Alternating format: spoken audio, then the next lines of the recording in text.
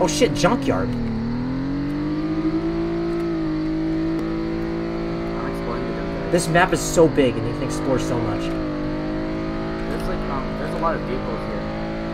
That's good. My friends all The General Lee! I'm the General Oh my god. I'm low health, I would have died. I'll never It's like some whistling you bees and down shit.